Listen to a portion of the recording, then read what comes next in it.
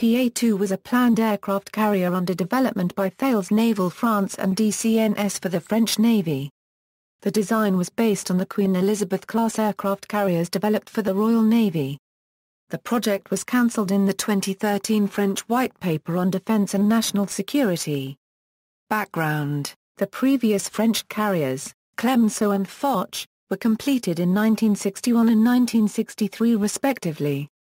The requirement for a replacement was identified in the mid-1970s, which became the 40,600-ton nuclear-powered Charles de Gaulle, laid down in April 1989 at the DCNS Brest Naval Shipyard.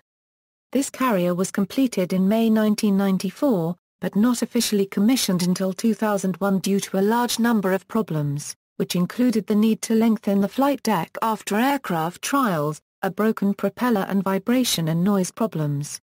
The French Navy was understood to be unwilling to proceed with another carrier of the same design and by 2003 the possibility of sharing the Royal Navy design emerged to fulfill the French requirement for a second carrier. The requirement for the carriers was confirmed by Jacques Chirac in 2004 for the centennial of the Entente Cordiale and on January 26, 2006 the defense ministers of France and Britain reached an agreement regarding cooperation on the design of their future carriers. France agreed to pay the UK for access to the design due to the investment made to date. These payments were A £30 million in January 2006, a £25 million in July 2006 and a further A £45 million if France decides to proceed with the project. The FY 2008 French defence budget included the necessary funding, a 3BN, for the ship.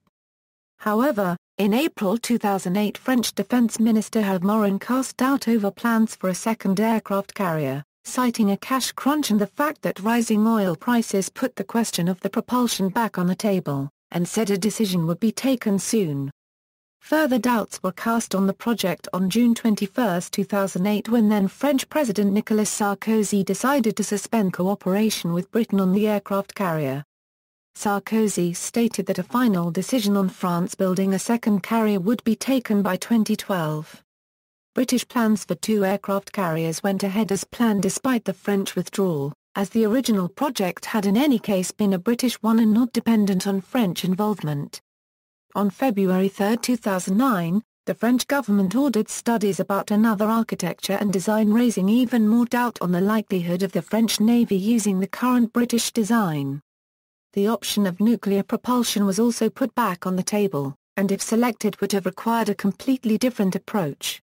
An option similar to the azimuth thruster used on the Mistral-class ships was also considered. Design considerations The French carrier would have been built by an alliance of Thales and DCNS using the proposed design of a 283 meters long, 75,000-ton variant of the Queen Elizabeth class. While the UK had chosen to continue to use STOVL configuration for its new carriers, the design could also be reconfigured to a CATOBAR configuration for French requirements. The French variant would have most likely operated the Dassault Rafale, the E-2C Hawkeye and the NH-90 fixed-wing and rotary aircraft. Being a CATOBAR design, PA-2 would have been equipped with the same 90-meter-long C-13-2 steam catapults as those installed on the Nimitz-class aircraft carriers of the United States Navy. The crew of PA-2 was expected to be about 1,650, a significant decrease from the 1,950 crew of the Charles de Gaulle, indicating the high level of automation integrated into the ship systems. The ship would have had two islands, one devoted to ship navigation, and the other to air operations, allowing optimal placement of bridges for both tasks. Navigation calls for a bridge placed forward, while air operations are made easier with a bridge placed aft. Because the design had to meet the Royal Navy's requirements, nuclear propulsion was not an option, the British government rejected nuclear propulsion as too costly. The idea of renouncing nuclear propulsion in this way was alleged by France to be a backward step for French technology, but the operational and political gains from a common design apparently outweighed the downsides of conventional propulsion.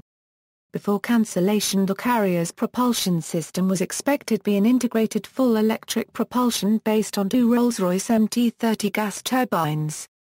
The carrier would have had a range of approximately 10,000 nautical miles. Construction considerations The hull was likely to be built by Chantiers de l'Atlantique at Saint-Nazaire, and fitted out by DCN at Brest.